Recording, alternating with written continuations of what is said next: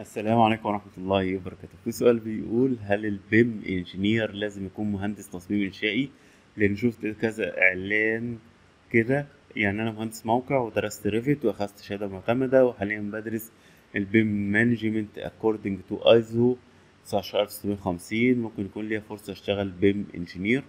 طيب خليني بس إيه يعني نظبط ال- الأمور أو يعني نحط القاعدة الأول بعد كده نطلع. مفيش حاجة اسمها BIM engineer. يعني إيه BIM engineer؟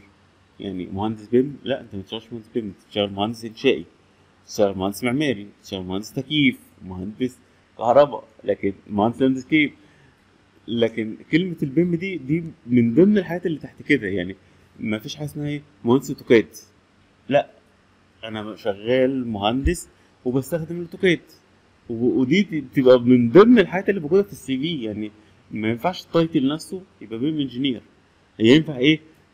BIM management BIM manager أو BIM coordinator أو أو يعني في آه الراجل ده متخصص في ال BIM. تمام؟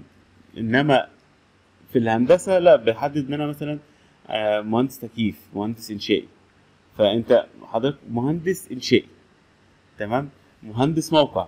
ممكن مهندس موقع ومن ضمن المزايا اللي فيه أو من ضمن الحاجات اللي في ال CV إن هو آه، راجل بيشتغل بال BIM وبيشتغل بال AutoCAD والبرامج اللي هو بيشتغل بيها.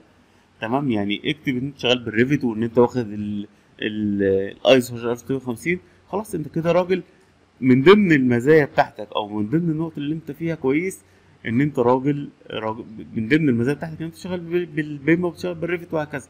زي مثلا إيه؟ في الاستدامة. تمام؟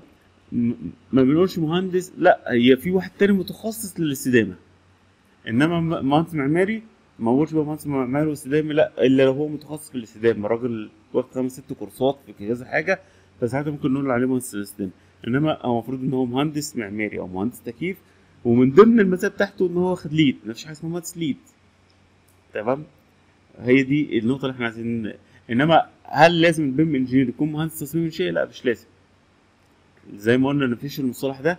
أنت راجل مهندس ومن ضمن المزايا إن أنت بتتقن ال- ال Revit وبتتقن ال BIM وبتتقن Tekla وبتتقن أي برنامج أنت عايز تحطه SAP وبتتقن كذا. مفيش حد بيقعد يحط بين قوسين كده أنا مهندس SAP. لا.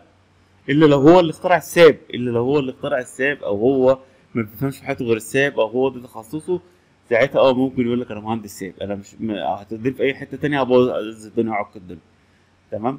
فاكتب إن أنت مهندس انشائي أو مهندس موقع ومن ضمن المزايا حط بقى Revit وحط LEED وحط ال PMP وحط كذا وكذا وكذا وكذا. زي فكرة ال PMP.